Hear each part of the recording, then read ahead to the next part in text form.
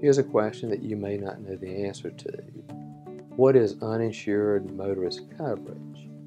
This is coverage that you purchase on your own policy to protect you in case the driver who hits you does not have any insurance at all. There are many reasons why people don't have insurance, but primarily it's because they're bad drivers and they can't get insurance coverage.